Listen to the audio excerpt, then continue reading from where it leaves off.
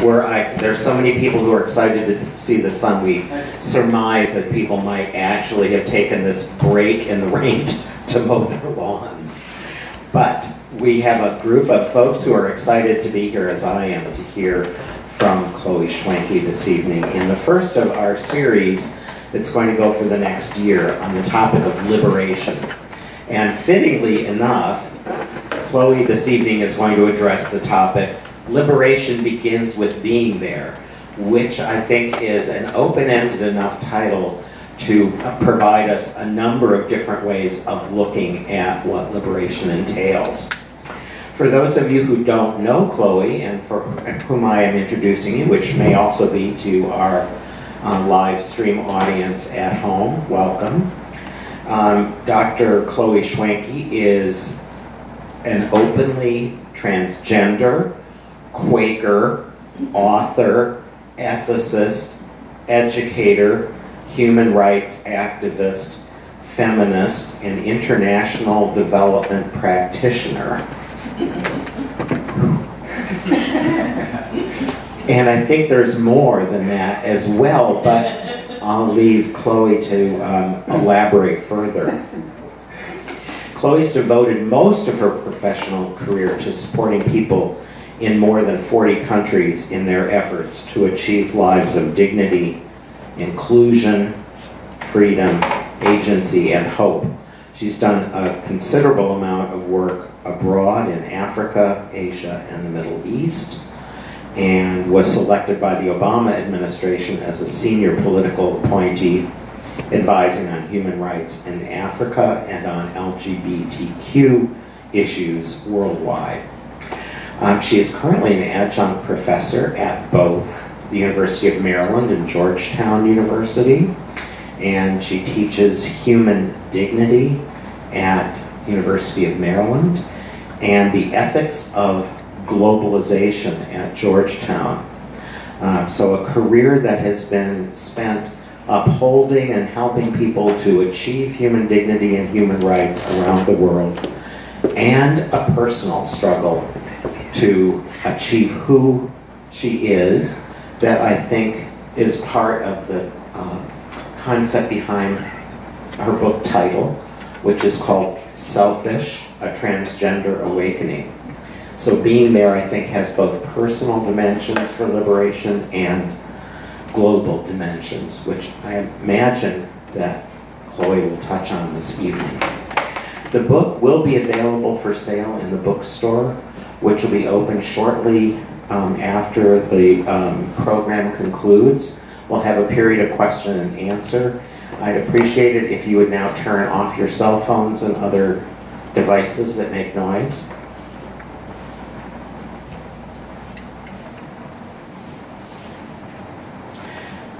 and we'll settle into a period of quiet worship, out of which Chloe will speak to us.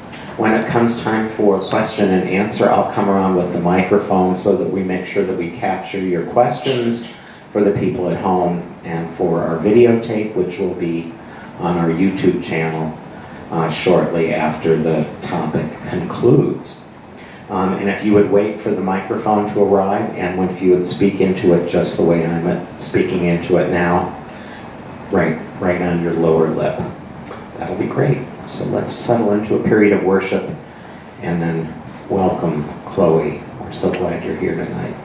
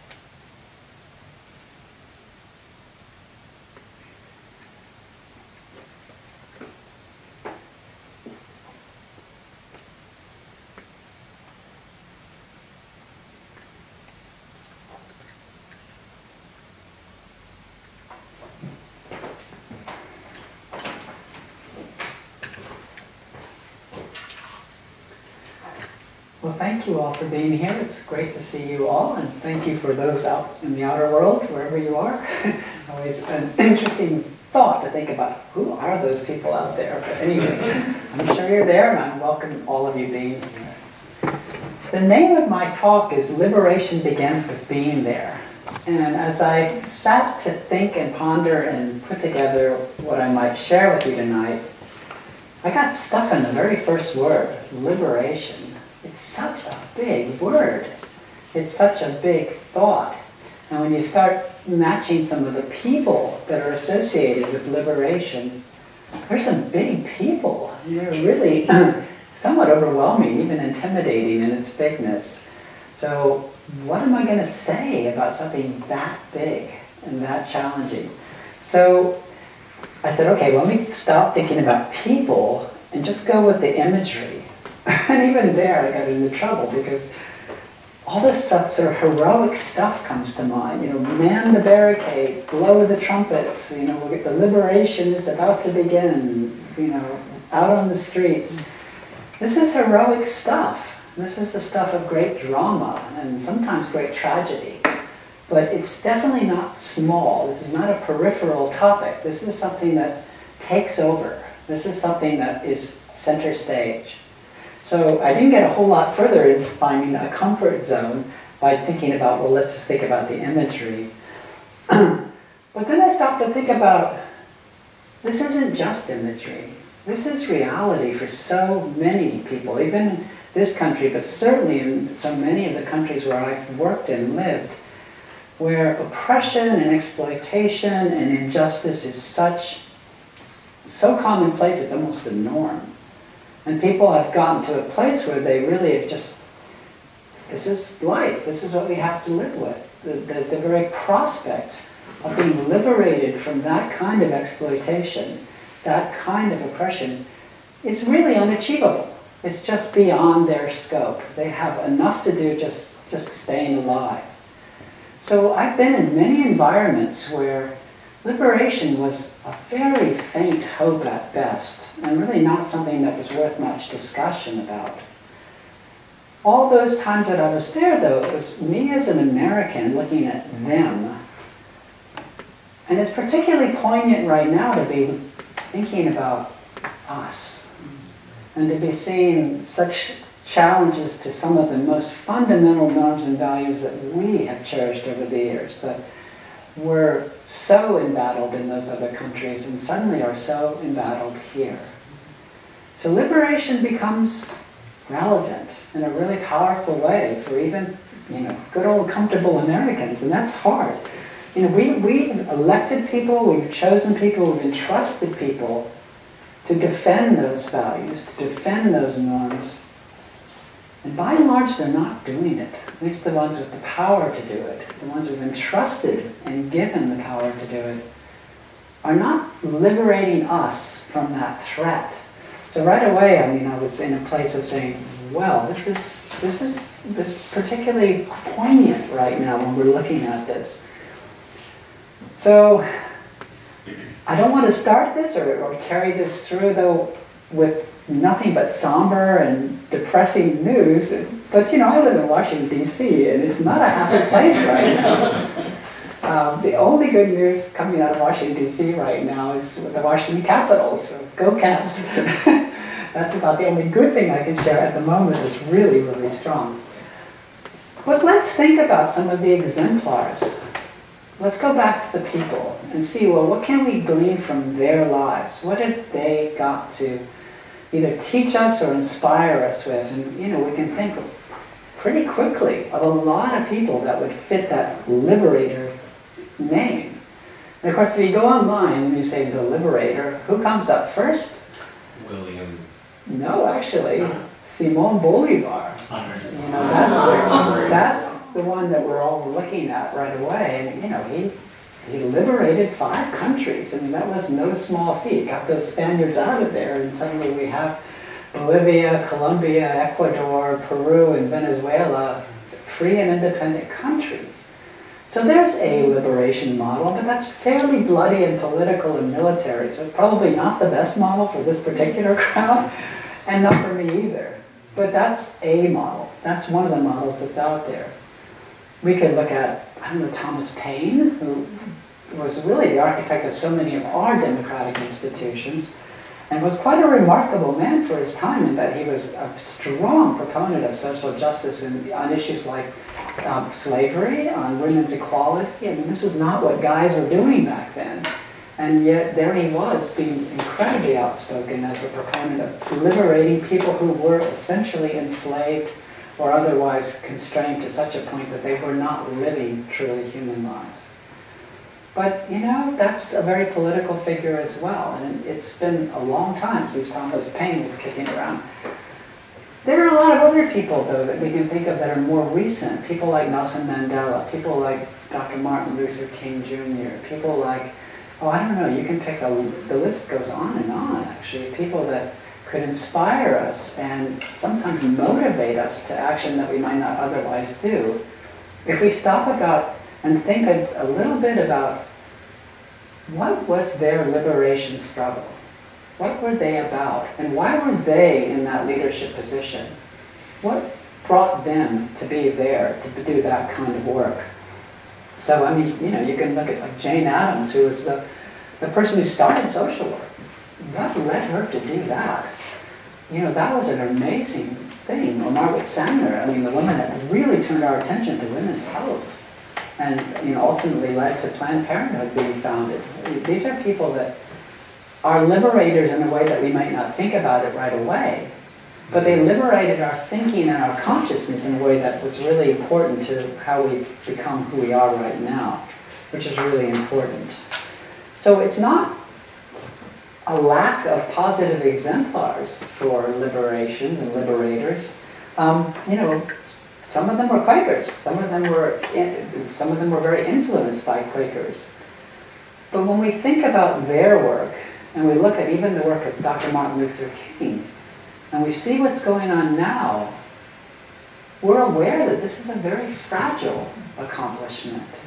That we have still a long way to go as a species, as a human race, to get to an evolution where those pieces of our human nature we're able to overcome the bad parts. We're able to move to a place where we really honor and respect notions like human dignity, notions like care and compassion, notions like equality, where they're no longer notions, where they become realities for us. We are not there now, and we're feeling very embattled with some of those notions right now, and many of us are feeling really challenged to resist those, those attacks on things that we value and claim that space and say, no, we have achieved this, we're not letting it go. Liberation needs to be fought for in whatever way and sustained through a lot of hard work. It's not something you can sort of just sit back and enjoy.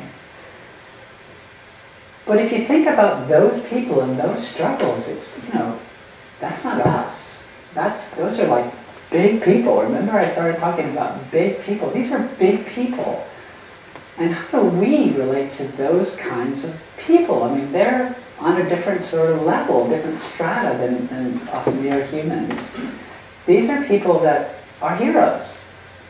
And it's like, well, I'm not a hero. I would like to be helpful. I would like to be part of a liberation movement, but am I called to leadership? Am I in that sort of heroes category? You know, probably not for most of us. That's really, really scary, and it doesn't, it's not a gift that we all sort of have or fall into naturally. But there is something really important about, first of all, acknowledging the leadership that comes from such people, and acknowledging that followership has a really important dimension too. Followership is not a passive act. The best followership is very active indeed. We're not only holding those leaders to their visions and asking them to constantly refine their visions and then working to keep those visions alive when the leaders are gone. That's part of followership. But it's also something that we're using their vision and their example and their liberation to change ourselves, to do really important work on the inside. And that's a really big piece of that. We have to do some discernment. we have to do some, you know, achieve some sense of really understanding our own identity.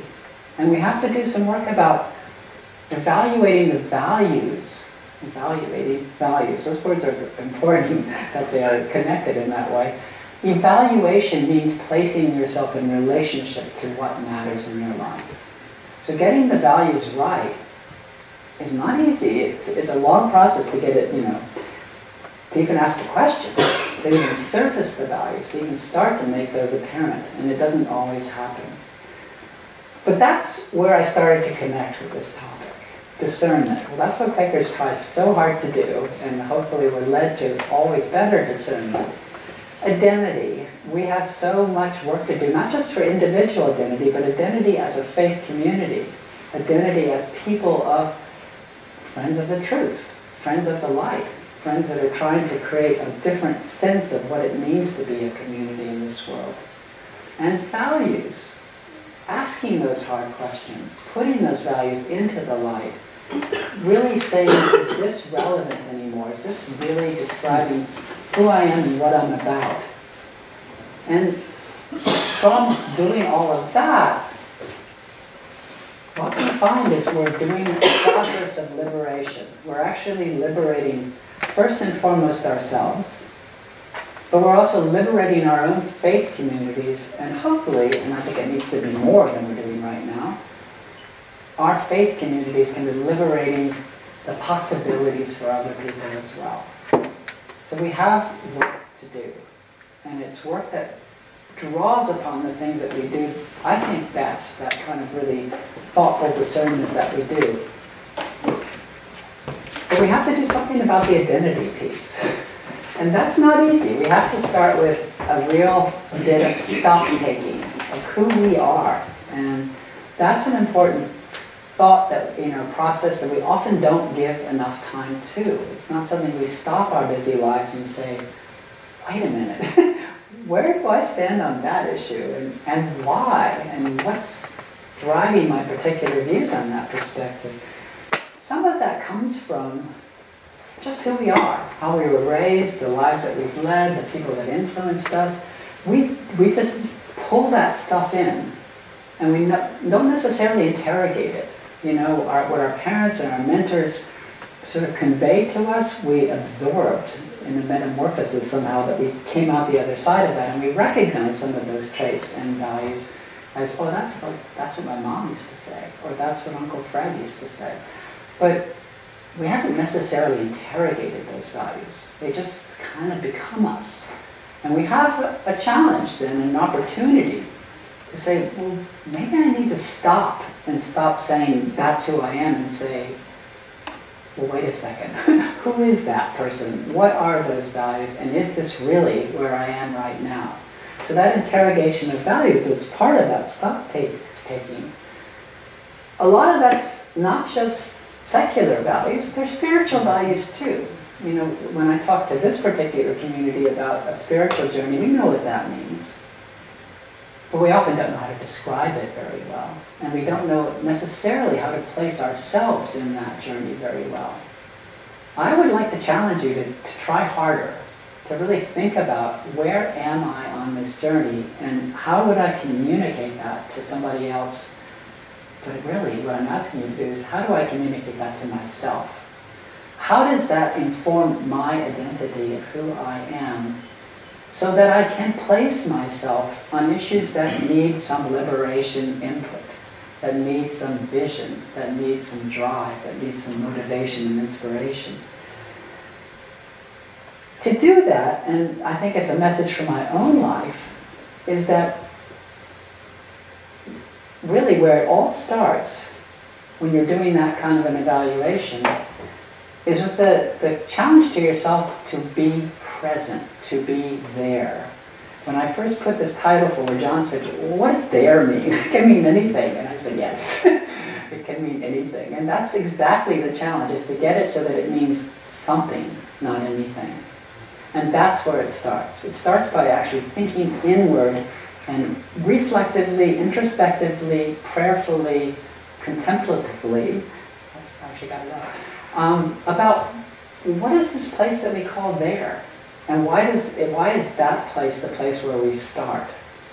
So that was my challenge to say, okay, if we really think that being there and being you know, uh, somebody that is in a liberation process means with starting with being present to that liberation process.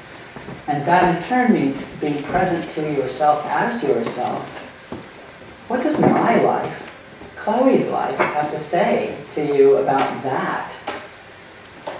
Well, as you can imagine for anybody who's transgender, there's a lot of introspection that goes on in that process. And finding out well, who is this person, came up with some rather dramatic results when I started really looking into that.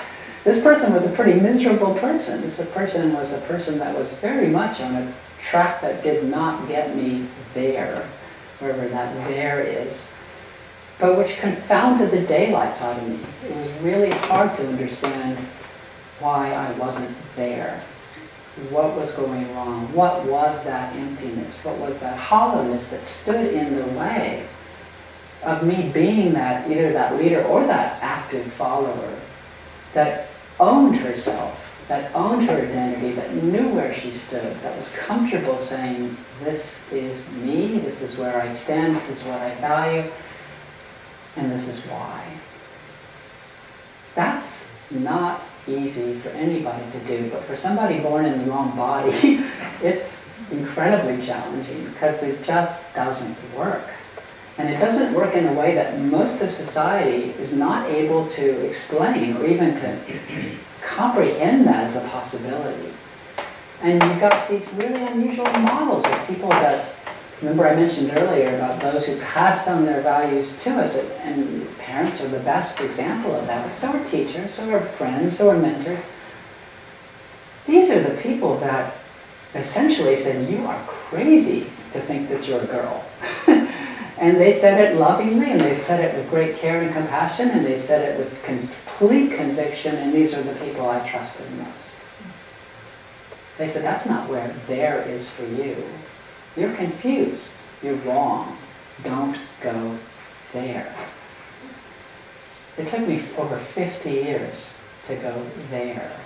And that's a, you know, that's a tribute to how comprehensive our socializing processes are for men and women. Our socializing processes are lousy for people in between men and women. But for the gender binary as it existed for centuries, for millennia, this is what societies do and they're really good at it. For the daughter of a Marine Corps colonel, they were particularly good at it. And they did it with love, but they did it with discipline and with very little latitude for pushing back for somebody who was at that time a child. So being there was particularly challenging for me when I had everybody saying no. And people would then say, well, how do you know you're there now? it's like the easiest thing in the world because I'm happy, because I'm at peace for the first time in my life, because I actually feel at home in my bones for the first time in my life. I feel like I'm on an entirely different threshold. This is so different than what my life was like before. It's actually beyond my powers of description to say what it's like to be here in this form of there, in this body is Chloe. Does that mean that nothing remains from Stephen? I don't think so. I think there were lots of pieces of that being there that had real importance, real relevance, real authenticity, real value. And part of my process, and I think it's actually to some extent everyone's process, is what do we carry forward? What do we incorporate from past parts of our lives? Parts that may be really uncomfortable for us or that really didn't fit then might fit in a different way right now. And we need to give us space to think through even parts that seem very, very odd in retrospect. And there are definitely parts of me from those days that I'm going to own and claim. And some of them were frivolous and fun. I still like motorcycles. I'm not going to get over that. Um, you know, there's parts that are more identified with a masculine life. I'm not a shy and retiring person. I was socialized to be strong and assertive, and I'm strong and assertive, so get used to it. I'm not going to let that go, and why should I? You know, but that's what our society does. We we socialize boys to be that really outward, push yourself, get out there and do it, don't complain. And girls are not given those messages. Being the mother of a daughter, it's been just an amazing experience to watch the messaging through her eyes that society throws at young girls. Because I didn't pick up on that. Mm. And I'm picking up on it mm. now, big time. It's like, oh my goodness, I can't believe that's going on. So trying to get there for me was not just a physical, and certainly not just a financial, although that was a big, that was a big part of it. It cost a fortune to be in this body, but it was worth every penny. But fundamentally, it was a spiritual transition as much as anything. My being there, and being there means being here right now in front of you, is the result of a decade and a bit of very intensive spiritual journeying. And some of you have seen me all the way through this, and John has as well. Um, and so has Tracy. Others that you know knew me as Stephen and were very comfortable to accept me as Chloe, and hopefully see the difference. but that's a journey. That's a journey of getting there. And I think it was Michael was um, is he still here? No, you. Is it Michael or Dan? Michael. Michael, yeah, you said, well, how do you know when you're there? and it, you kind of know because somehow you feel that the messaging goes through you. You're, you, you're in a place where you, you just are able to be sufficiently grounded that your followership uh, touches other people. And that can change by the context. It's not like a temporal thing, like I'm, I'm there, I'm here now, and I will be here forever, and everything's done, and I finished my spiritual journey, and I'm all accomplished, and I got a big certificate. No. But for certain contexts, I feel the voice move through me, and I let it happen. And it's, it's humbling, it's a little frightening at times, but it's liberating for me and for others. And I'm in awe of it. And that's part of being there is to let that awesome thing, which is a much overused word, but I use it occasionally, let it happen. Let it happen. Let it actually move other people. So being me certainly started with self-awareness about really who this person was and what was going on those 50 years. And it's so interesting now to look back and see that, that Chloe was there all the time. And she showed up in the most interesting ways, and I wasn't smart enough to figure it out. But looking back, isn't, isn't hindsight wonderful? Looking back, there she was, and there she was, and there, I mean, one of the best years I had was my father's last year. I came out to my dad when he was 91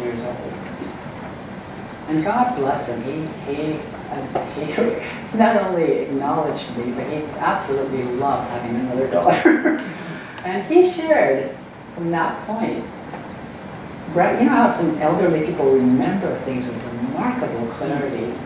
He started recalling these episodes that happened when I was very small, where I was very feminine. and it confounded the daylights out of him at that time. And he never was able to figure it out. And they all came back. And he was sharing those with me, and it was such a gift to mm. see, oh yeah, there's Chloe. and she showed up in lots of different spaces, so that was important. Integrity was an important piece of me being there. Integrity meaning wholeness. Putting all these different pieces, some from Stephen, some liberated now by being Chloe, some that are just happening now, into some sense of wholeness, harmony, you know, some place that it's going. It's very dynamic to feel that integrity take shape and cohere, and then find the hard edges sometimes when it doesn't, and say, okay, I've got my work to do there.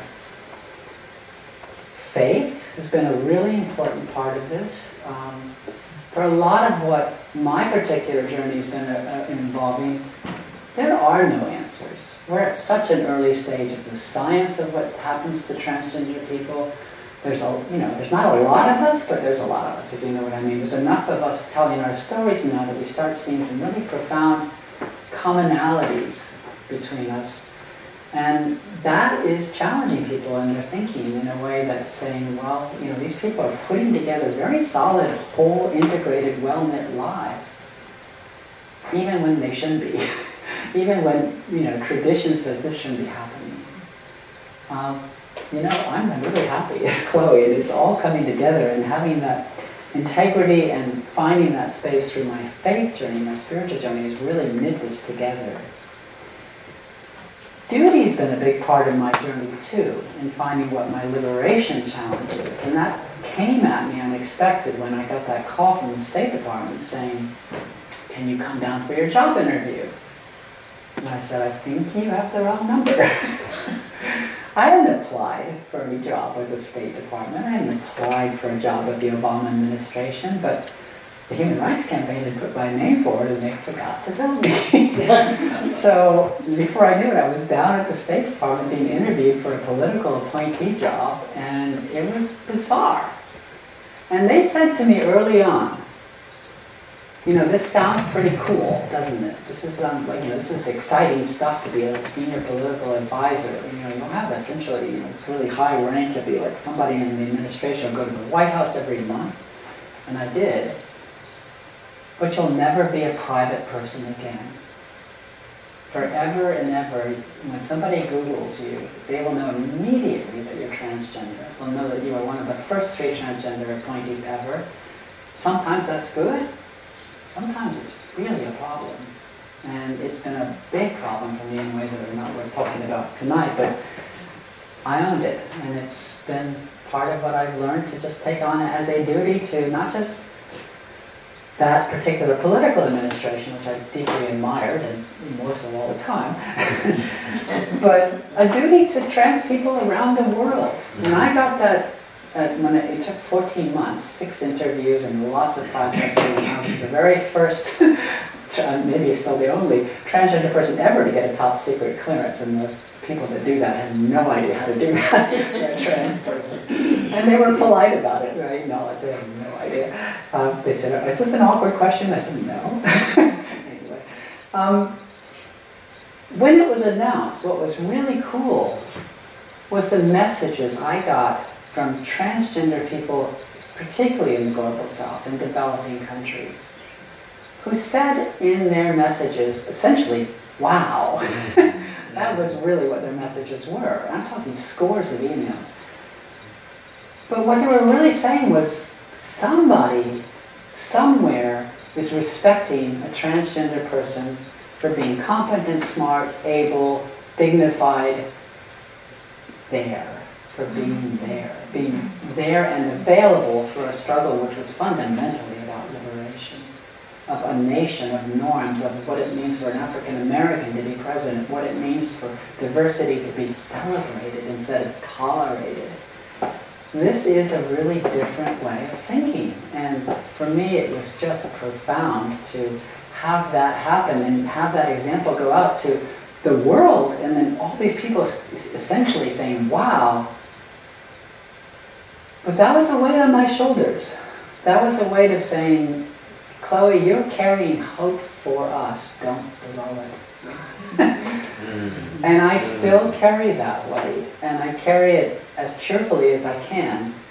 But that sense of duty and obligation is heavy.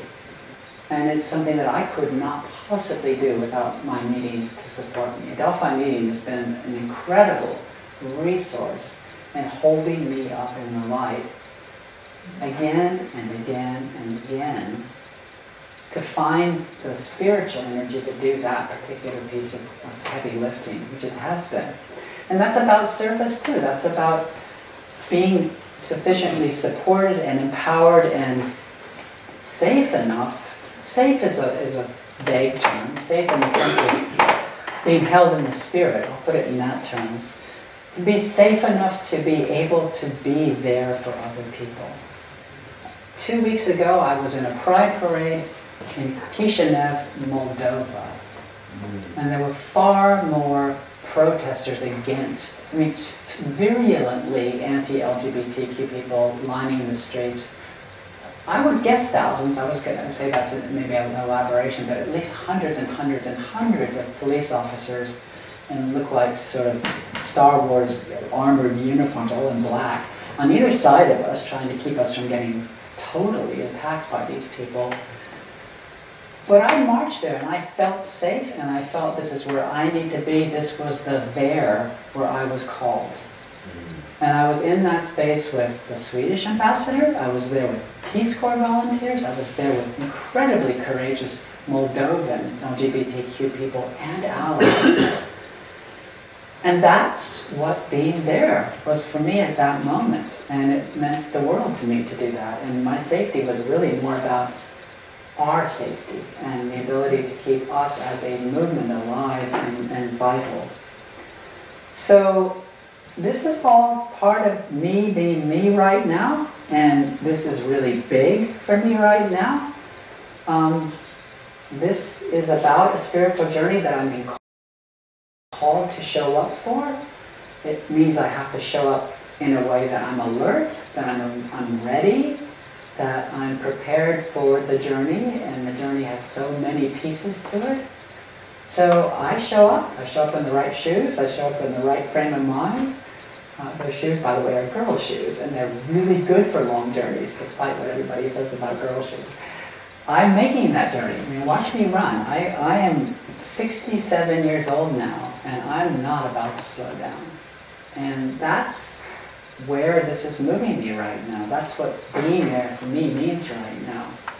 So I lean on those attributes that I mentioned, the, the self-awareness, the integrity, the faith, the duty, the service, the discernment that I talked about.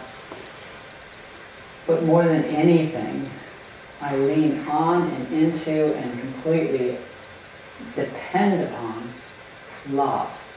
I could not do this if, you know, I only had those people screaming at me in Moldova, for instance, if that was my world. And one of the, the most scary parts of that particular Pride March was when some of those protesters tried to crash through the police lines. The police lines held, but in the middle of that, what really held us together was a lesbian couple right in front of me who just held its hands and started kissing each other.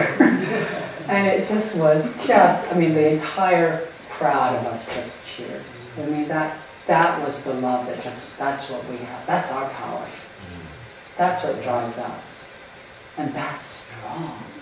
That's so much stronger than all that hate that was being thrown at us and the eggs that were being thrown at us and the water balloons that were being thrown at us. I'm not sure they were actually having water inside, there were other things. But anyway, that's what was going on. So, my particular journey is a journey of gender. And gender is not the same as sex. I was sexed male, and I was female from birth.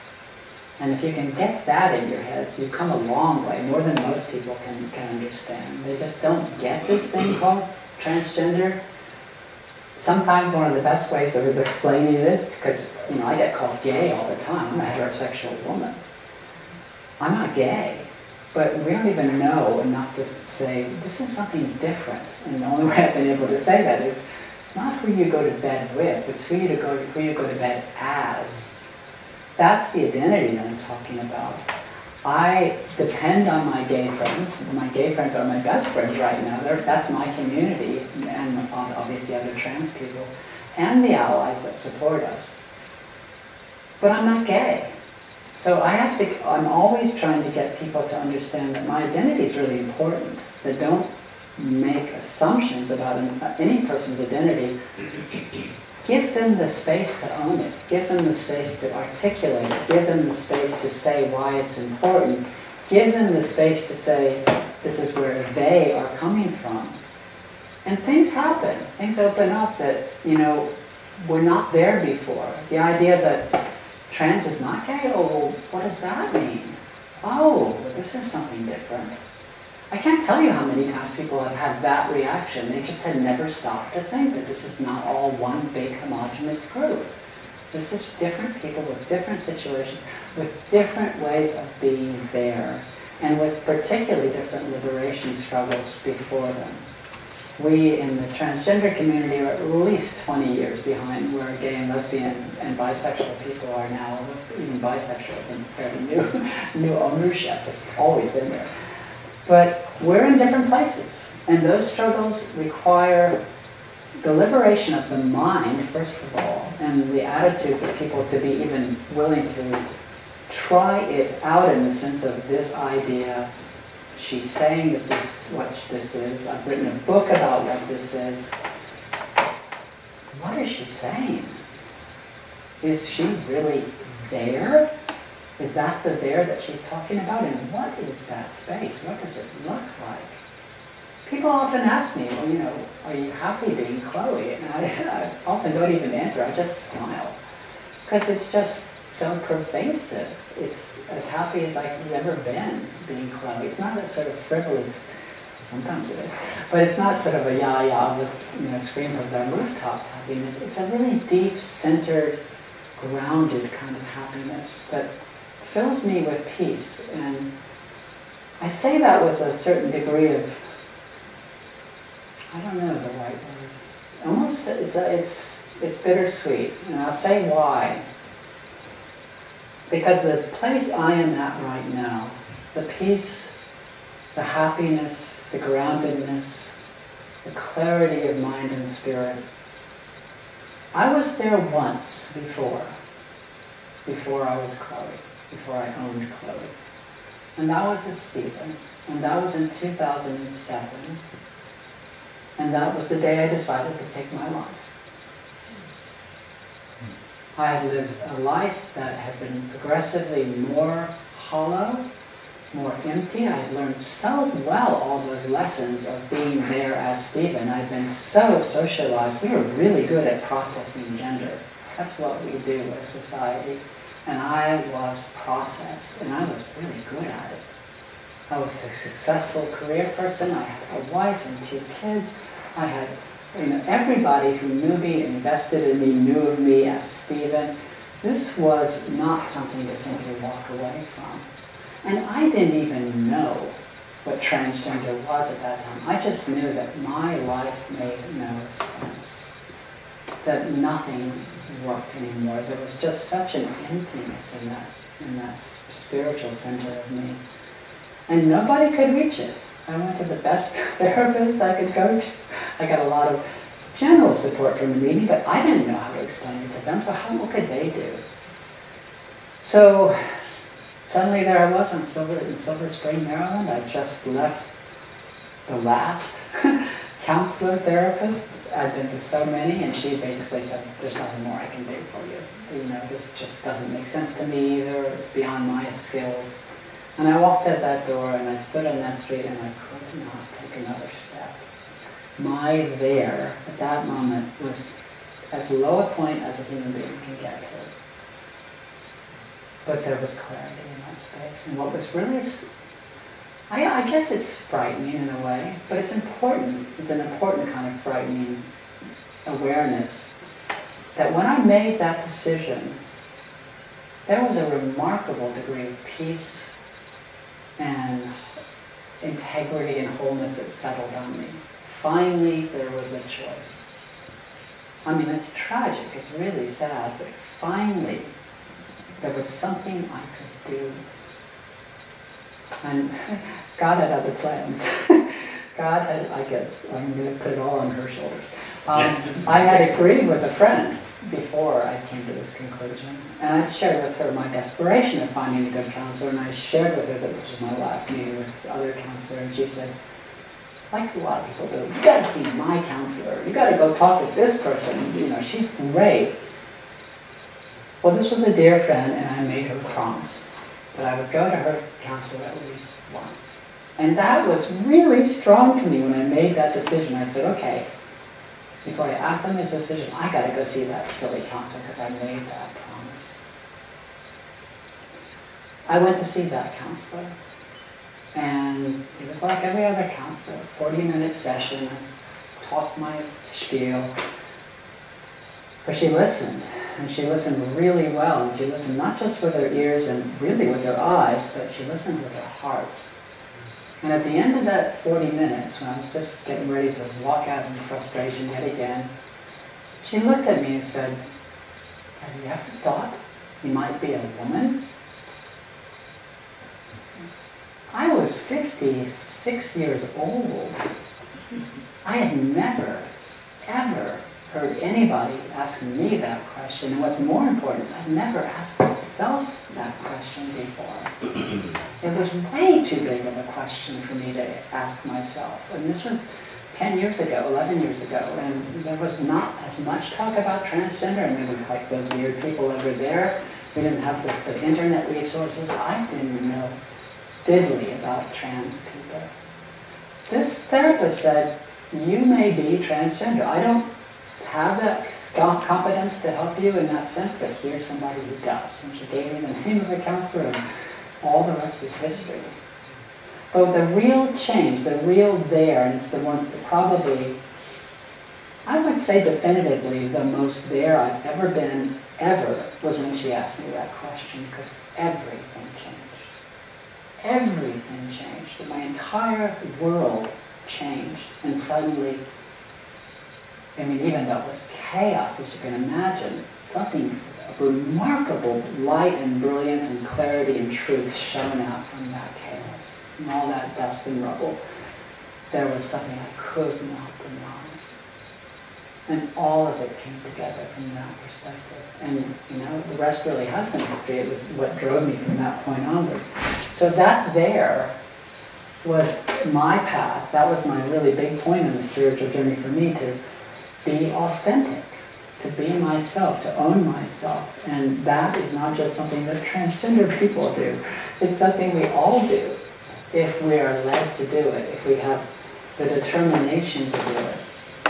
So, I don't know, I mean, that's that challenge from me to you to explore what it means to be there, what it, what it means to be authentic, is really an invitation more than anything to do that unpacking, to do that inventory, that stock taking I talked about before, to start thinking about the values that you think are important in your life. And you don't do this on your own necessarily. It's so much better if you do this with, with a, a bunch of friends, with people that you care about, through discussions, through whether you want to call it a spiritual discipline or not. I think it is.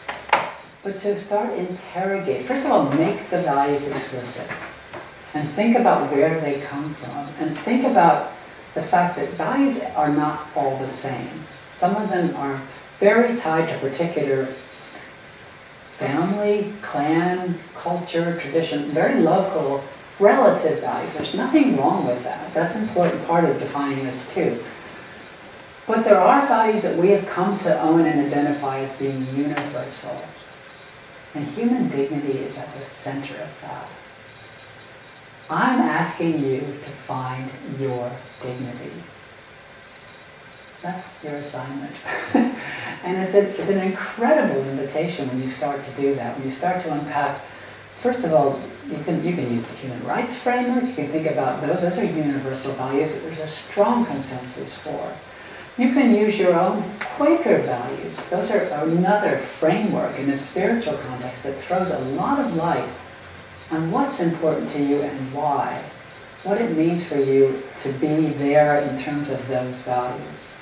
And there, there are literally thousands of values. And the last anecdote I'm going to share tonight is when I, when I was at USAID as a, as a appointee, one of my assignments was to go, I was asked by the, the Council of Chiefs of Western Ghana, in Takoradi, Ghana, to please come out and talk to them because they needed some money. and everybody needs money in the USA, and that's what it's about, and it's appropriate. But when I went to Ghana, I've been there many times, but when I went there that time, it was election season. And when I was still in a crowd before I'd gone out to the city of Takoradi to meet with the chiefs, chiefs, by the way, still have lots of power, even though there's you know, democratic structures. The traditional values and roles of chiefs is still huge in that culture. Well, I went to a political rally, which I always like going to, and this was a debate. This was, you know, a typical candidates debate. And there were eight candidates for this member of parliament position, and I, and I just, you know, went with a friend we just decided, let's go get this debate. Seven of the eight candidates were men. One woman. And this was a fairly rowdy bunch. People had drunk probably way too much beer. It was nearly all men that were in that particular hall. And with, you know, fairly drunken good nature, they would roast these people that got up and gave their little political spiel, but it was all kind of good fun. And the candidates, most of them were able to roll with the punches and actually still say something important until the woman got up. And of course, she was last. Surprise, surprise. Um, and everything changed. It was no longer a jocular repartee. It was no longer let's just have some fun. It was highly sexualized, highly offensive. It was crude. It was derogatory. It was deprecating in the extreme. It was stigmatizing. It was awful. It was awful. You know, they called her every name you could think of that was offensive to women and all, her only crime was that she was standing for Parliament. So with this experience, I went off to see the chiefs. And the chiefs said, we are the guardians of culture in Ghana. And they meant it. They were very proud of that. And so I told them the story at the political rally. And I said, are you the guardians of female Ghanaians as well? Are you the guardians of your women and girls and their value in society as well? And if so, could you help me to understand what I just went through in that, that debate? And there was silence. And finally, one of the elder chiefs said, we still have much work to do. And I said to him, okay, well, let me see you do that work. I want to hear from you, and it's an invitation, I'm not issuing instructions, but if you want US taxpayer money, I have to be able to justify that. And I will justify that to the extent that you are the guardians of Ghana's values and culture. All Ghanas, not just male Ghanas. Give me something that I can show my people back home when I'm justifying this, it's fairly large sum of money they were asking for, that you're doing this work that you're making those values explicit, the good ones and the bad ones. There's some really bad values, particularly around women. Identify them, make them understood, talk about them, and throw them out when they don't fit anymore. And they didn't know, I mean, they said yes. They thought that was a really important and noble idea. But I had friends who were in an NGO, nonprofit there, who were in the room with me, Ghanaian women. And they kind of chuckled themselves because they wanted to see what the chiefs were going to do too. And they went away and I went away and they emailed me about three weeks later saying, we're tired of waiting. They went to the chiefs, not just them, but with young Ghanaian men and women. And they proposed the project quite literally write down values. Talk to old people, look at the old stories, think about the songs, think about the speeches, and try to make values explicit. In this context, specifically about gender and gender equality, they found a lot of them, and they threw out more than two-thirds of them, and they got their money. so that was a liberation. That was a liberation of attitudes. It was a liberation of dignity for all. It was a liberation of of the way things were and will no longer be as long as it's sustained, as long as it's nurtured, as long as people stand firm for those values, people stand up for what they believe in, as long as people are there. And that's why liberation starts with being there. So thank you.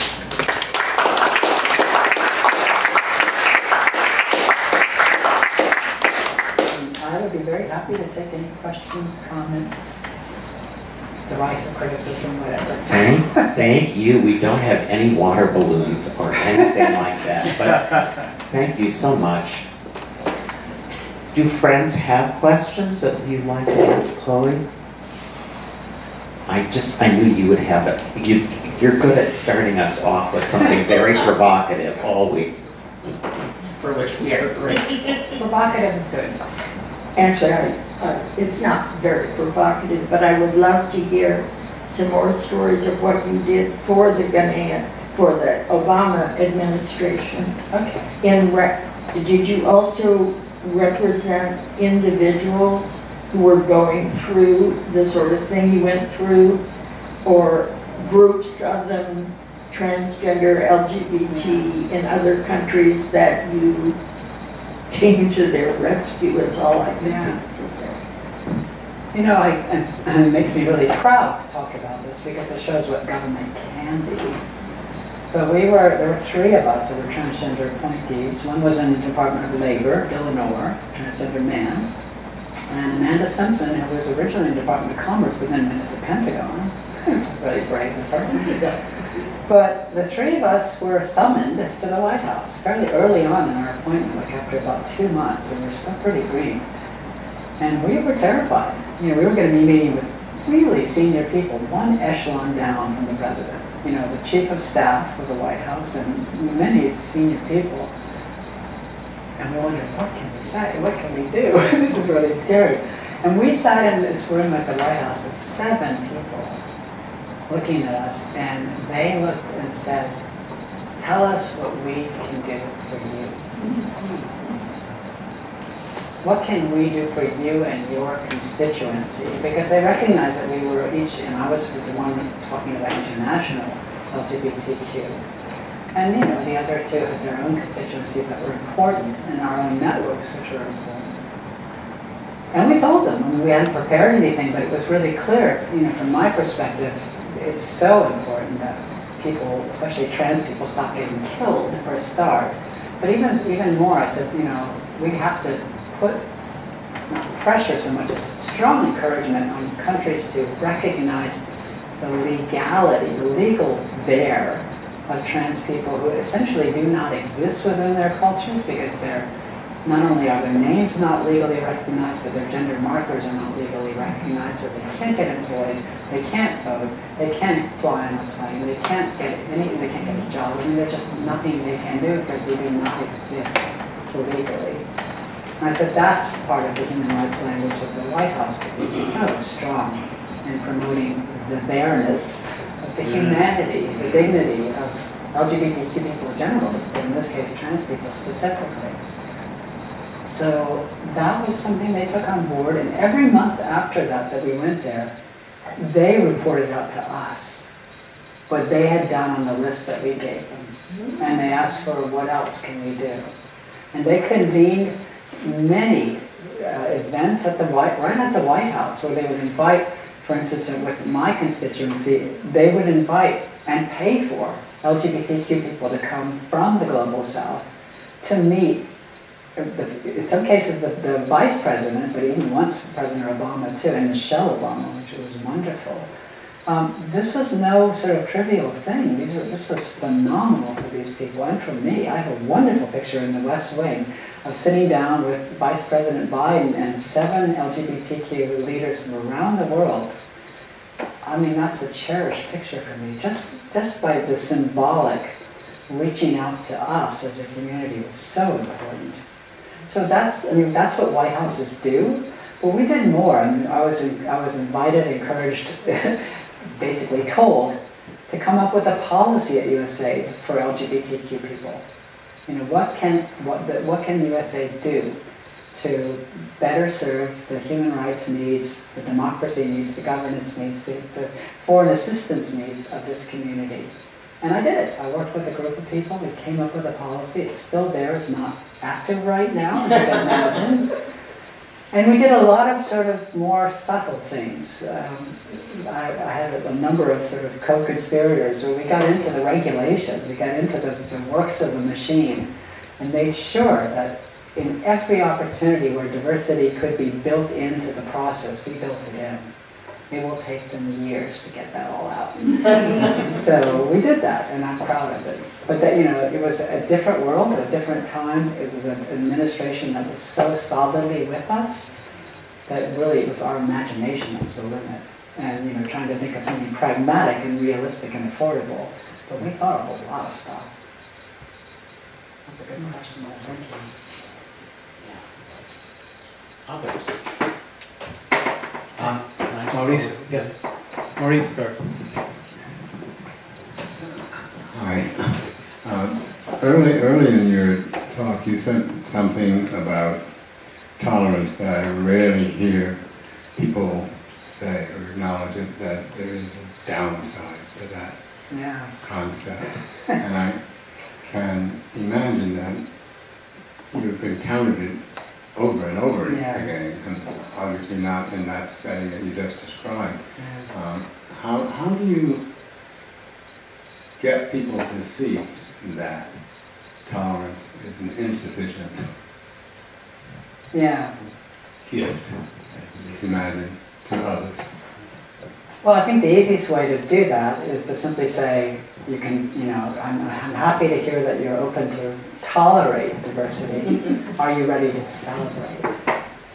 And just that simple question alone, puts like an entirely different spin on it. It's like, wait a minute, you mean I actually have to celebrate it? And, it- you know, that's the inventory of like, oh, maybe there are some gifts here that are worth celebrating. They may not come up with that, but I, I can suggest a whole bunch. And getting that conversation going, and I mean, think about me, for instance, the trans people, we've lived in both worlds. I mean, I'm, I was a mole in the male world, and I've got stuff I can share with you. You know, I'm able to get a little facetious, but you know, people who've had journeys like mine, and people throughout any marginalized group have a different experience of life. And we have perspectives and, and ways of looking at the world that are illuminating, that are enriching, that are humanizing, that are powerful if we're allowed and tolerated, but not just that, actually embraced and then celebrated. As people that are not just will put up with you, we really value you. I mean, that's a message we should say to everybody. I, I- I agree. I, I've had um, professors, other intellectuals, uh, argue about the concept Yeah. of tolerance and try to attach a value in a way that I couldn't buy. Well, tolerance as a level, I mean, you know, yeah, I don't buy it either because it's one step too low. But the level for me is human dignity. The threshold of, you know, keeping us as a planet together, as humanity together, is the universal right, not just recognition, but respect for human dignity. That's not a tolerance. Hmm. You know, if people really all have dignity, we celebrate that because it's us too, and we're all in this together. So if their dignity is worth it, my dignity is worth it. I'm not going to tolerate my dignity. On the other hand, let me speak a word for tolerance, which I think you just did, yeah, which is if your brothers and sisters are being murdered because they're not recognized as human, yeah, then at least the step of saying you are a human being that we recognize as a human, yeah, and although we don't understand you, we won't kill you. yeah, My sense that tolerance is still a limited virtue and value in those places where the the idea gay people don't exist in our culture or transgender people Yeah. don't exist in our culture and we make sure of it because when we find anybody that doesn't fit yeah. we get rid of them because we know they don't exist really so some tolerance i think is worth celebrating even if it's limited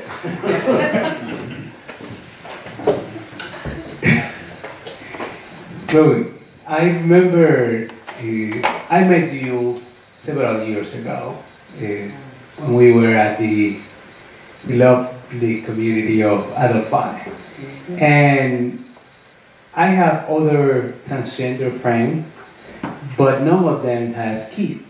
Yeah. And I, I remember seeing you with your daughter at meeting for worship several times.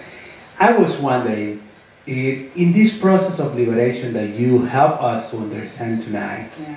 how, how do you support your kid Yeah. to navigate this process as you were living it? Mm-hmm. Because I think that there are many people out there that may be asking that question for themselves, but don't have any clue. So, Yeah. That's a, a big part of my book actually was addressing that, and it's, it was the hardest single part of my transition is how do we tell the children? Uh, my ex-wife, who's still my best friend, um, we worked hard on that before we ever did tell the children. Got lots of good advice from people. It was still terrifying because they're just so vulnerable mm-hmm. and they don't have the emotional or intellectual capacity to make sense of it. All they have is the trust in your love. And that's all you need. And mm-hmm. that's really what it came down to. And it's, you know, it's, it's hard for me to talk about it even still, but it's in the book. And I would, mm-hmm. I'm not going to say much more about it because I'll just start to cry. But it's, kids know where love is there. And, you know, the bigger message, and I told my son, and he was 12 at the time, that I, I would not be able to be there anymore as Stephen. I just couldn't stay alive as Stephen. And I will always love you as Chloe. And there were a lot of tears. But he heard that message. And we, I'm very close with both of my kids now. In fact, my daughter's a really big LGBTQ ally activist. so, and I'm sure Ian is too, but he's a Peace Corps volunteer. He's got other things to do right now. But, you know, with children, it's about what matters the most. Uh, uh, one interesting anecdote about that that people told us is, you know, this was still, I was still presenting as male. They said, before you put on the dress, go and talk to the parents of the, the kids' friends. You know, all of their best friends, sit down with the parents on their own and tell them. Because the first thing those little friends are going to do when they come in and see you dressed as a woman is, you know, run home with the great scandalous story. And everything depends on how the parents react. Mm. If the parents just say, you know, yeah, that happens, and some people find that they were in the wrong body, and if they're just cool and calm about it, the kids move right on. Mm-hmm. And it worked. I mean, I went to see 12 different couples, but the kids had a lot of good friends. And those are funny stories too. But anyway, it worked, and it worked remarkably to keep a safe space. They, the kids did not have to be bullied or harassed by their friends. I did stay away from my son's school for a year. He did ask me to do that. And that was a absolutely reasonable request. But you know, he went to Sandy Spring Friends School, and he got such great support from that community, and that community was really, really behind what I was doing too. They understood it, they asked me to come and talk to the faculty and staff to help them understand it. They wanted to know how they could be there, not just for Ian, but for whenever this happened again. And it was a remarkable relationship that we developed there.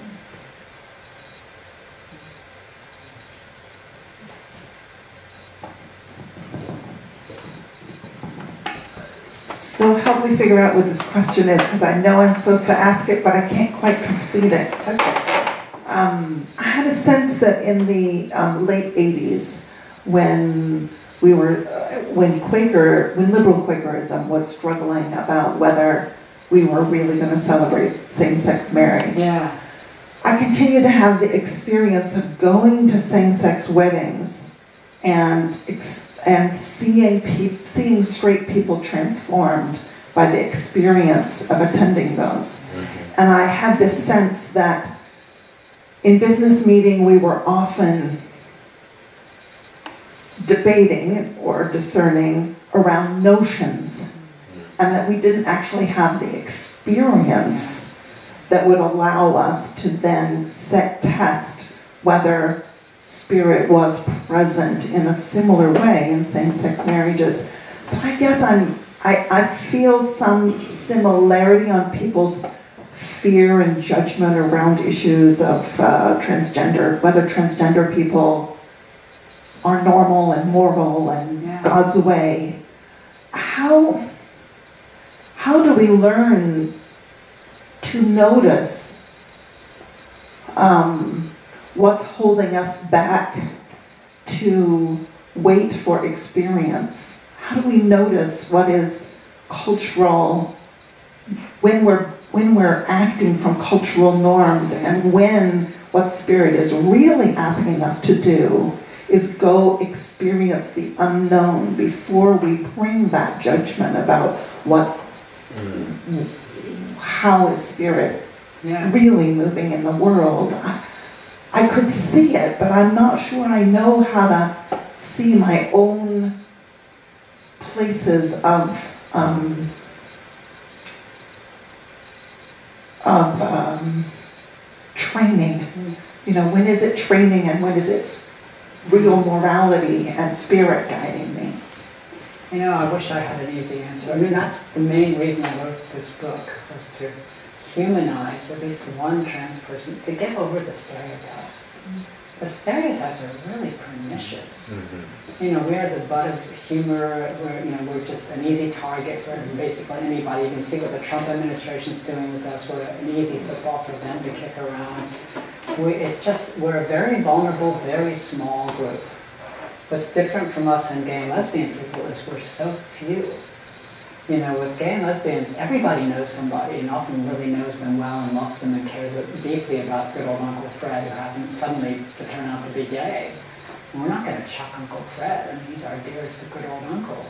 You know, these are people that through this, what is called contact theory, and it all happened kind of with Harvey Milk and people from that point onwards, everybody came out kind of all at mm-hmm. once. Mm-hmm. And we all had to grow into that space. And it was such an important transition because we had to do some work in an uncomfortable environment. We had to just deal with our own bias, our own bigotry, and our own fear and our, our own ignorance and just say, these are wonderful human beings and we loved them before. We're not going to stop loving them now.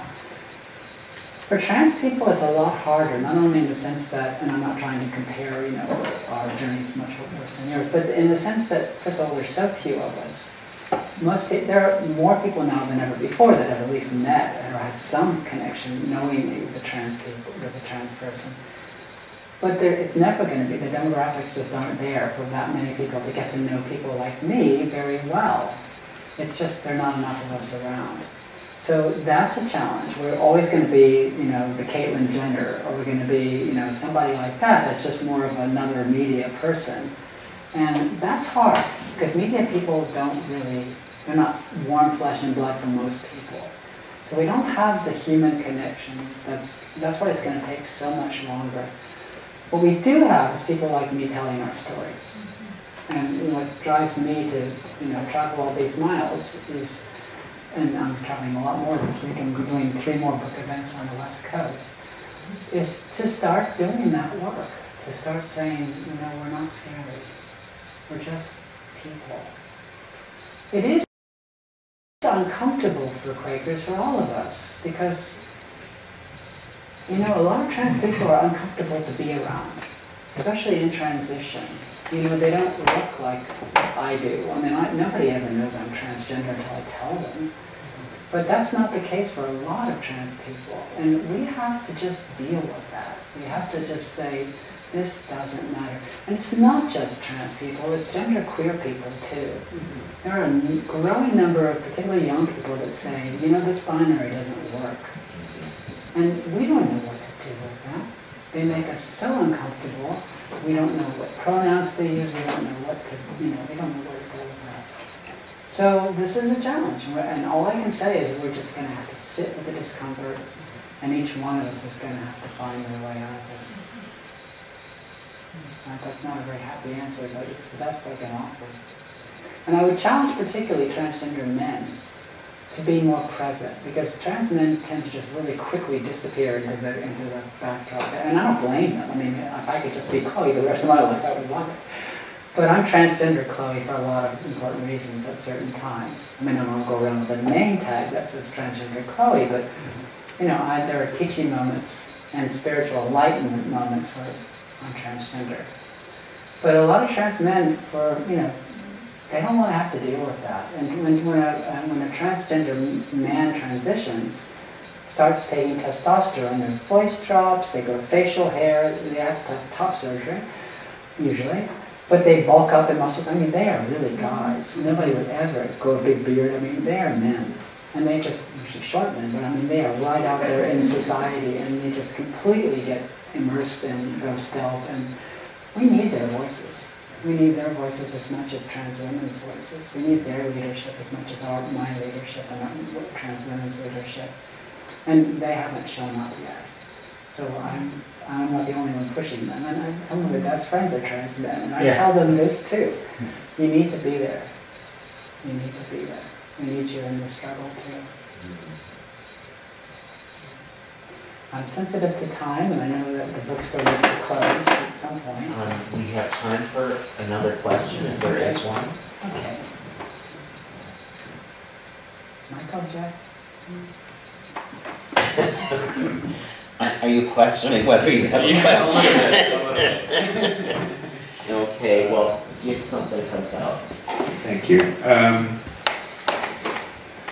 so, uh, you spoke a lot here, and uh, we spoke briefly earlier about um, the ways in which personal liberation can enable one to be there for, for others, to, to work towards liberation of others. I wonder too, um, whether and, and in what ways working towards the liberation of others has helped um, helped uh, enable your personal liberation. Oh, Um, yeah, and and if Yeah, you know the way, the ways in which those two aspects of of, the, of work towards liberation are reciprocal. yeah. Uh, you can speak to that. Yeah, it's an easy one in a sense because it's all about relationships. Mm. You know, these are not stereotypes, these are not figures, these are real life flesh and blood friends of mine in developing countries who are really, really having tough times. And, you know, I visit them, I work with them, I write to them all the time. Half of my Facebook list is Africans. you know, it's just, these are people that, they all call me mom. They write to me to tell me what they're doing that day. I mean, it's just a connection for them. But just to know that somebody cares about them and that caring about them and their connection with me is, is reciprocal. I mean, it's, it's a really important thing for both of us. You know, this is not an abstraction for me. These are real life people in really hard places who desperately need some liberation of their own. And I'm not going to offer that. I don't have that power. I'm going to listen to them. I'm going to communicate with them. I mean, they're my friends. I'm going to find time every, and I do every day. I have some very good friends, LGBT, mostly gay friends, um, in Kakuma refugee camp in northwest Kenya, who have a really, really hard time. They've been sequestered in one part of the camp where they put all the gay people. They don't even know what trans is. And they are not allowed, they're essentially not allowed, not so much allowed, they're not able to go anywhere else in that camp because everybody beats them up. The other refugees, they just, they get really badly attacked. The trouble is the Trump administration has cut the World Food Program funding so drastically now that there's not enough money in the UNHCR to, to feed people in these camps anymore. So what they've been doing is coming up with income generating activities for the refugees so they can earn the extra food money so that they can stay alive. Well, the income generating activities are on the other side of the camp. So my friends are quite literally starving to death right now. And I'm doing all I can to every advocacy source I have to raise their plight and talk about them and let people know their names and really just, you'll see it on my Facebook page a lot. And I hear from them every other day, every third day, and they, they're about to lose hope. I mean, it's just so desperate for them right now. But you know what's really interesting? and it shows you something about the human spirit. This is Pride Month. Mm. Those gay guys, and there's a few lesbians, I don't know if there's trans people there, they haven't come out if there are, are going to have a pride event. These are people who are starving, who are struggling day to day. But they know how important solidarity is. They know how important that cohesion is for any prospect they have. That they, if they're on their own, they're dead. So they're going to have an event, and they've been saving money, and they're going to do something. I mean, it's not going to be grand and glorious, but they're going to be assert, they're going to be asserting their dignity, and I'm going to be doing all I can to, to trumpet that, to just say, look at this, isn't this amazing? And how about let's do something better for them? I don't mean that we're here to solve all their problems, but we can at least raise the awareness of the people to what this administration's you know, consequences of what they're, I mean, the cuts in foreign aid are already huge. The cuts in humanitarian assistance across the board are already huge. I mean, the cut in basic food supplies. This is what this government is doing right now. And people are dying. And, you know, some of those people are very marginalized, vulnerable people. And it's not just LGBTQ people, it's persons with disabilities, it's all kinds of people who are marginalized. They are the ones at the sharp end of the spear right now.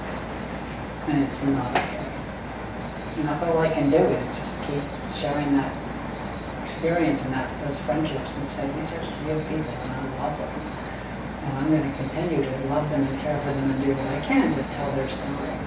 And I, I do lots of blogging and I do lots of, I love to write and that's a gift for me. But I put it towards human rights advocacy as much as I can.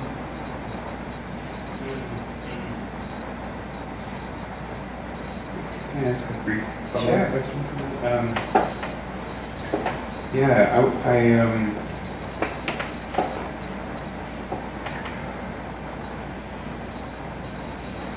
I wonder how um,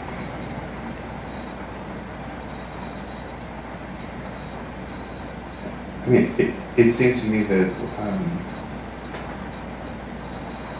that part of what, what you're saying is that, or what I hear you saying is that that's and I believe this to be true, that story has the ability to bridge the gap between experiences, between. Um, I wonder. Um,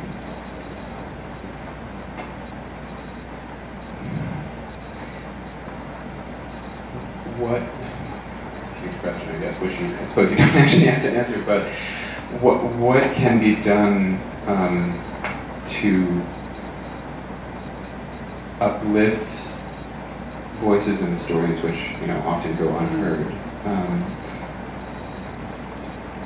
and um, yeah I mean I'm sorry I suppose this is not, not a very well framed question but I, I wonder if you could speak both to to um, yeah, that, that ability of story to create, to build bridges between experiences, you know, especially when, um, especially with those different from, you know, who have different experiences from oneself, and um, the ways in which um, story might be used to try and heal some of those, um, Yeah. you know, those wounds and those thoughts.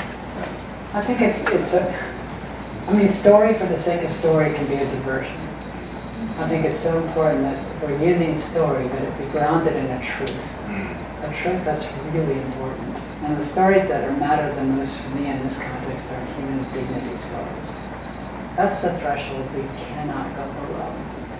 And if we can fight for that threshold, if we can tell that kind of story, if we can bring the humanity of these people to the place where their dignity matters and the threat to their dignity is understood, that's all we can do. We can't solve all those problems. The world's a big place and there's extraordinary levels of injustice, but there's also extraordinary levels of love and compassion. Um, I'm going to just end by just reading uh, something that relates to that. And I, I think you'll see why. In the end, the pronouns, stereotypes, and labels won't matter. We will stand or fall on our humanity and on our dignity. Refusing to accept our assertion of our gender is nothing less than a rejection of that humanity and that dignity after we put it all on the line. While we won't bend to letting others define us, we do need to live, work, love, and play in the society of human beings. We are who we say we are. And while it isn't much to ask of others, it is everything to us. I am Chloe. Accept that I am here, female and very human, fierce yet vulnerable, tough yet sensitive, with a heart filled with love and warmth. I'm at peace with who I am. I've struggled so hard for so long against such outrageous odds just to be able to write those words. I'm selfish. I have to be. Find room in your heart for me and for transgender people everywhere, and your heart will grow. It's a pretty good deal. Thank you.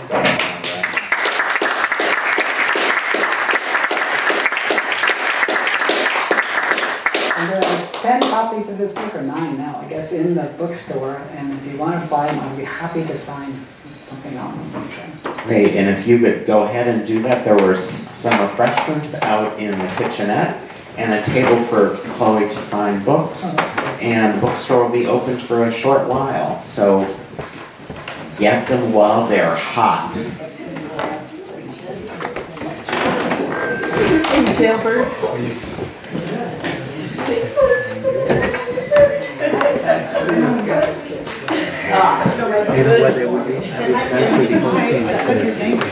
Yeah, I think that